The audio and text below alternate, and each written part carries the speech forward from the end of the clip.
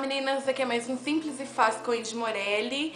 E hoje eu vou ensinar vocês a fazerem um bom bocado. Se eu soubesse mais que o seu amor seria assim tão belo.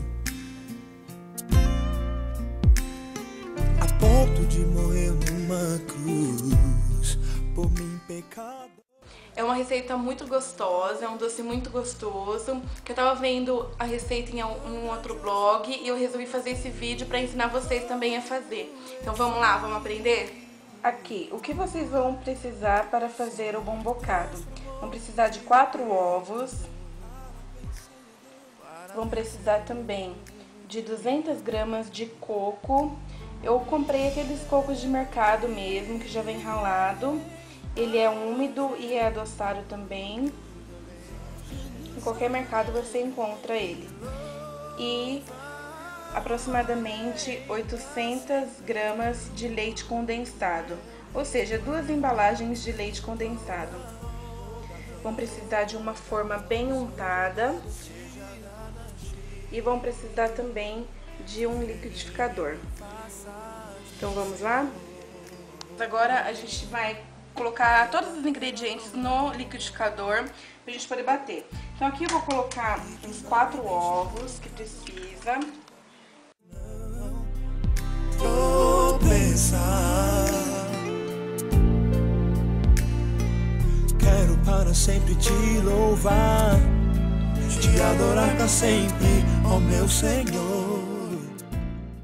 Agora eu vou colocar o coco, toda, as 200 gramas de coco.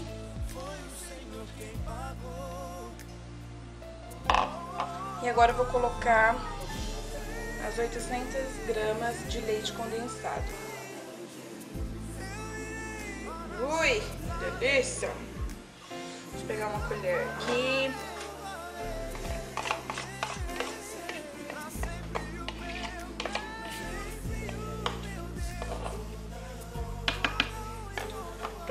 Agora é só bater toda essa mistura.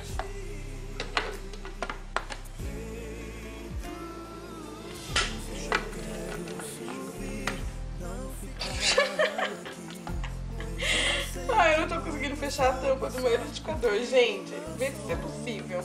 Não tô conseguindo fechar o meu liquidificador. Aê, pronto. Agora é só bater. Um povo que eu louva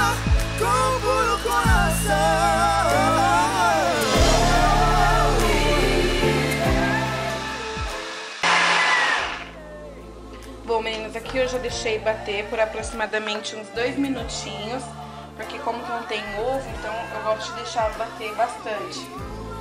Inicialmente eu ia fazer, eu ia colocar nessa forma quadrada, mas eu mudei de ideia, vou colocar nessa daqui que é em forma de coração, que é menor. Então o bocado vai ficar mais grosso. Aí você coloca na forma untada,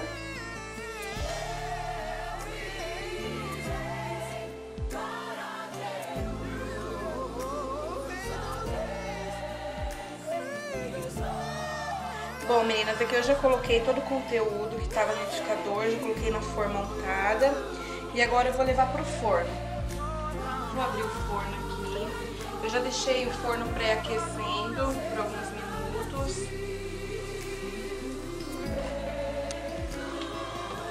Vou colocar aqui no forno. Vou fechar e vou colocar aqui na temperatura de bolos e massas. Agora eu vou deixar assar esse bom bocado por aproximadamente um, umas meia hora, 40 minutos. O importante é lembrar que não é para deixar o bom bocado marronzinho.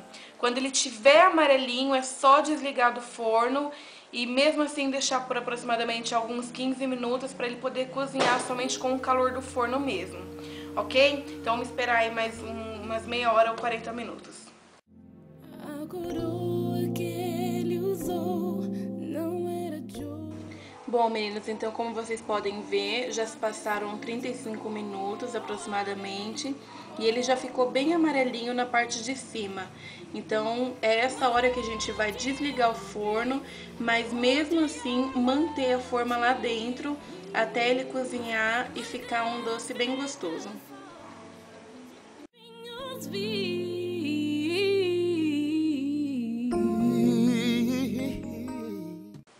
Bom, meninas, esse foi o resultado do nosso bombocado. Depois de aproximadamente 35 minutos assando no forno e depois mais ou menos uns 40 minutos ainda no forno com ele desligado, o bom bocado ficou firme e ficou com essa cor bonita, como vocês podem ver aqui na parte de cima. Então é isso e até a próxima.